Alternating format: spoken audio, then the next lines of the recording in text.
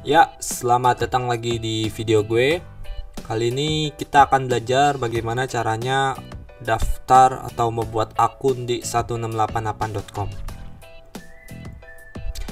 Oke, pertama kita harus pasang dulu Google Translate di Chrome. Buat yang belum tahu caranya, bisa langsung nonton video gue sebelumnya, link ada di deskripsi.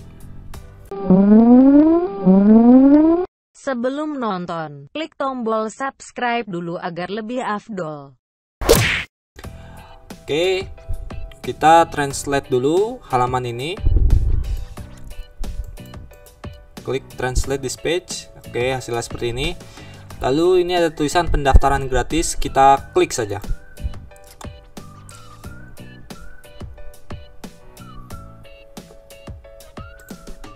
Oke, kita translate lagi. Oke, ini ada pengumuman, kita baca dulu. Kita buka Google Translate saja. Oke, perjanjian pendaftaran. Hmm, silakan dibaca dulu. Oke, kalau sudah kita kembali lagi. Kita klik saja tombol oranye ini. Oke, uh, kita pilih ini saja pendaftaran akun pribadi karena kita hanya menggunakan akun 1688 untuk membeli barang. Ada pengumuman lagi, tapi ini kayaknya sama. Coba kita lihat. Ya, sama ternyata. Kita klik saja tombol oranye. Oke, nah di sini ada beberapa data-data yang perlu kita isi. Yang pertama kita lihat Oke, nama anggota berarti username. Oke, username-nya kita buat dulu. Misalnya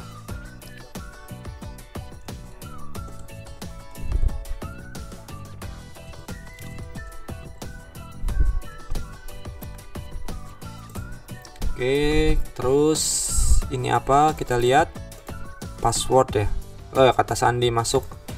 Kalau bawahnya konfirmasi kata kunci. Oke, berarti kita buat password akun kita.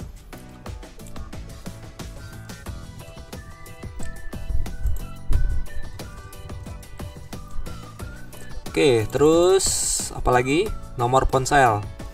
Jadi kita pilih Indonesia.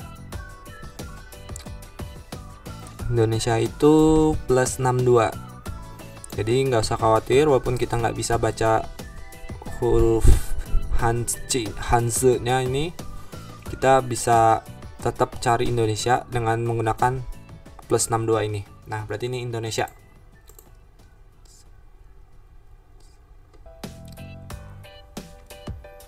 Oke, kita masukkan nomor ponsel kita.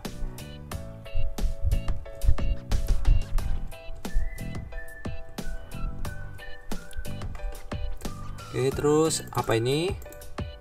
Verifikasi kita geser saja. Terus ini ada informasi apa lagi? Oh, setuju. Kita klik saja tombol oranye. Oke, di sini kita harus memasukkan uh, kode konfirmasi yang dikirim melalui SMS ke HP kita.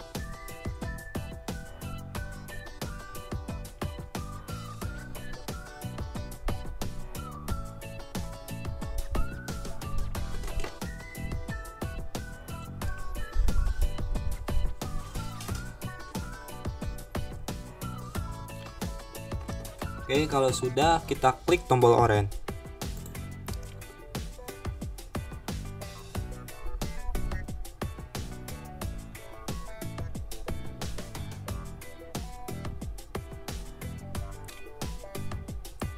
Oke, akun kita sudah berhasil dibuat.